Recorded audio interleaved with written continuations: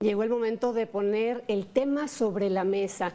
Y como usted sabe, el pasado 31 de octubre, unos ciclistas que estaban haciendo su deporte en la carretera México-Tepoztlán, en la curva de Cuautla, eh, pues se dieron cuenta que había tirado el cuerpo de una mujer.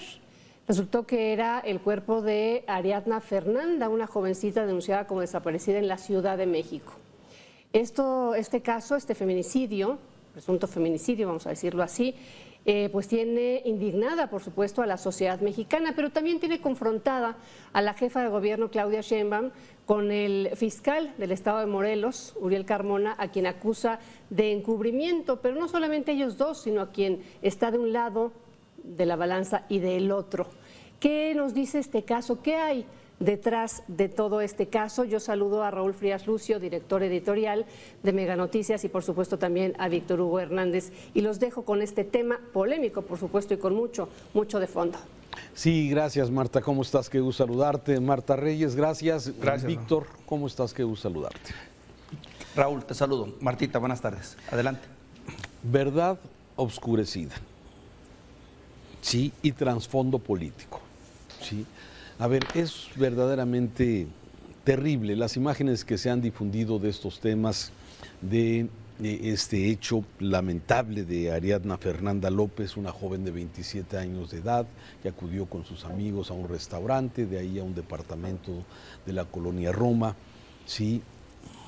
Y ya no sale con vida, ¿sí? ¿Qué pasó? La verdad es que ni tú ni yo, Víctor, vamos a poder definir qué pasó exactamente. ¿Sí? Lo que sí sabemos y lo que estamos viendo es que tenemos que confiar en que la autoridad va a hacer su trabajo pulcramente, que la necropsia va a decir exactamente qué ocurrió.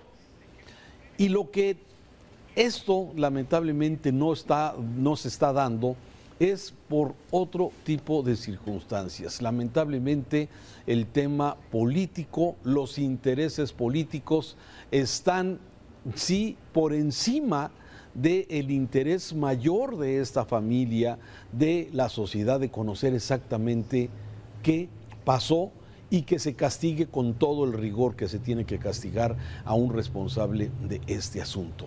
Pero tomar este caso como rehén de un interés político entre Claudia Sheinbaum, candidata a la presidencia, ¿sí? y el pleito que tiene el gobernador de Morelos con su fiscal, que es este señor Uriel Carmona, y que, bueno, se trate de resolver un tema de carácter eh, técnico, científico, con una visión política 100%. Un primer comentario, Víctor. Caray, Raúl, qué tema. Mira, no hay nada peor que pueda ocurrir. Es una parábola que te presento que tengas que pagar o rendir cuentas de justicia en este país. O sea, que te ocurra un descalabro, un accidente, una situación en la que voluntario o involuntariamente violentes la ley y tengas que enfrentar la justicia. Es una tragedia en este país que esto ocurra, porque el drama que tendrás por enfrente, tengas o no la razón, va a ser enorme.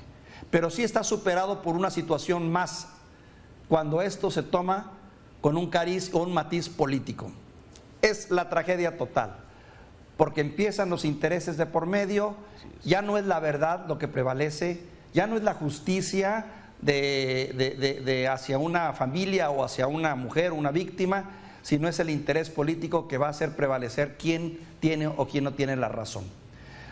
Situación trágica, claro, donde hay muchos responsables, pero que también ponen en evidencia dos situaciones más. Uno, la nula confianza que tenemos en nuestras instituciones encargadas de investigar y particularmente las fiscalías en este país que han demostrado ser un fracaso total, donde hay negligencias, donde hay intereses políticos, donde hay corrupción, donde hay incapacidad, por lo que tú quieras, recursos, falta de preparación, lo que sea, pero caer en una fiscalía en este país es empezar un tortuoso camino de la impunidad y de la tragedia misma tuya y de tu familia.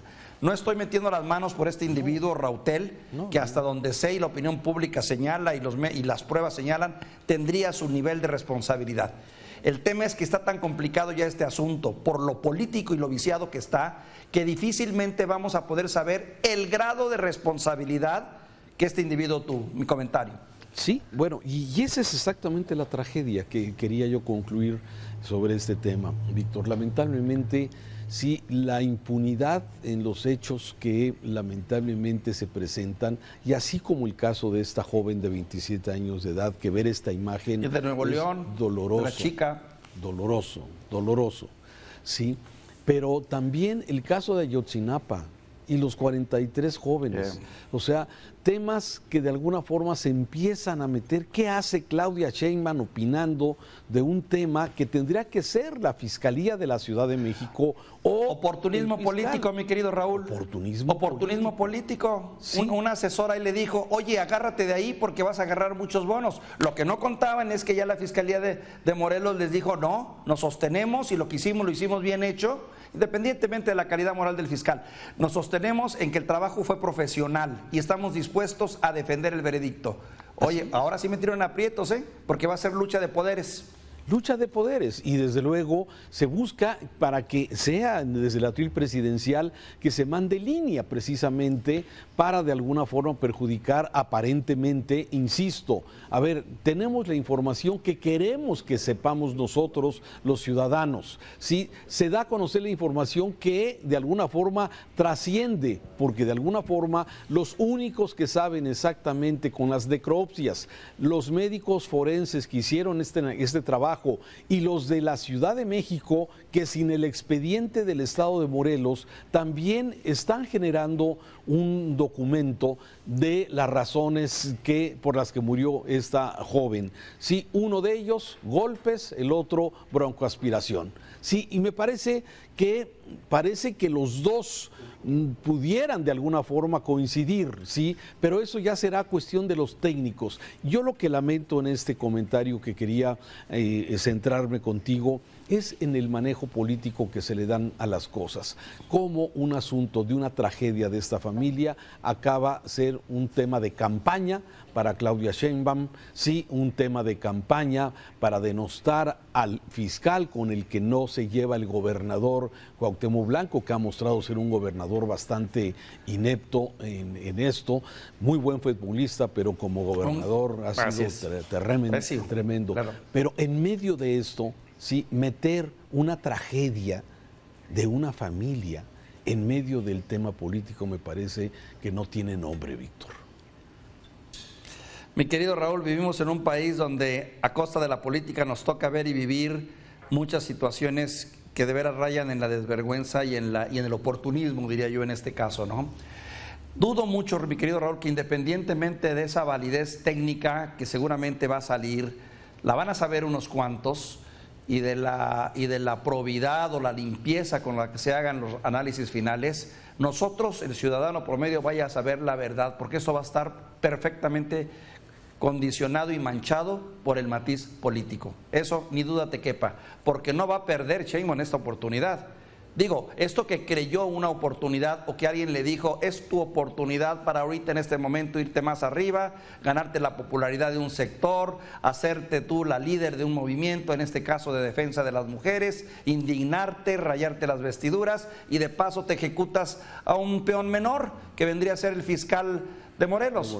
Pero oh, sorpresa, resulta que no estaba tan mal hecho, el, al menos eso es lo que sabemos, no estaba tan mal hecho el peritaje y ahora resulta que pues va a tener que ser una lucha de poderes, donde yo lamento que el hilo se va a romper por lo más delgado, Raúl. Como siempre, normalmente en esto, ¿no? Y lo estamos, y lo estamos viendo. Pero sí, finalmente son las cosas que quedan dentro de la gran impunidad cuando la justicia se tuerce para poder satisfacer intereses de carácter político, ¿no? Y este me parece que pudiera ser un ejemplo, independientemente de que este señor Rautel Astudillo sea responsable o no sea responsable, todo parece indicar que él tiene mucho que ver en todo este asunto, las imágenes que se han transmitido, que se han dado a conocer. Ah, hay un video muy comprometedor, no hay fotos muy comprometedoras. y que no, no hay vuelta de hoja, y eso me parece que es importante. Pues sí, Víctor, lamentablemente los temas políticos a veces, bueno, empiezan y ensucian algún tema que debería ser solamente técnico, solamente científico, y este es un ejemplo de ellos, lamentablemente.